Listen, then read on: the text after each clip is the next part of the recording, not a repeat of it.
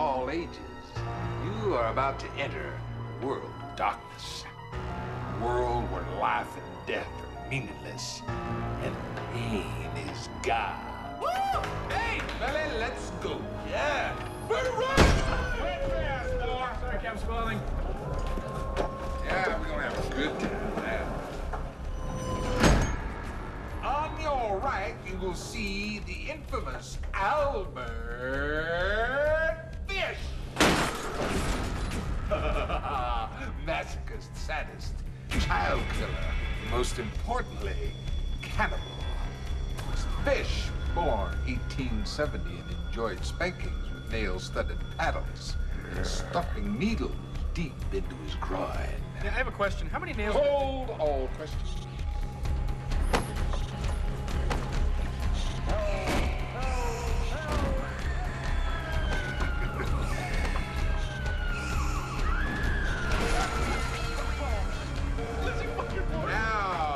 Our most famous crazies, the psycho Plainfield, Mr. Ed Gein.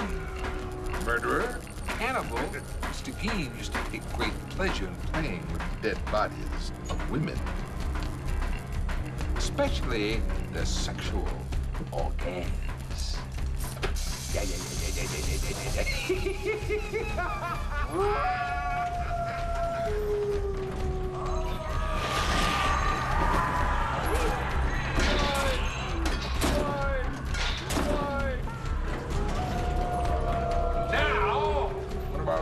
heroes, S. Quentin Quayle, aka Dr. Satan. Holy shit!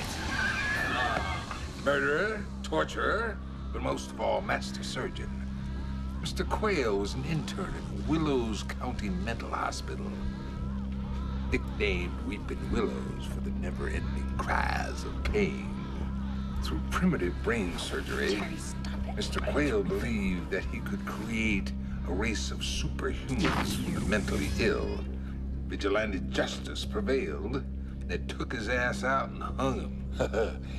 and that infamous hanging tree is no more than a stone's throw away from where y'all's ass is now seated. The next day, his body was found to be missing.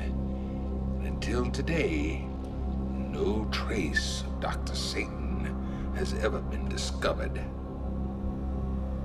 But then who knows? Maybe he lives next door to you. Tour's over, exit through the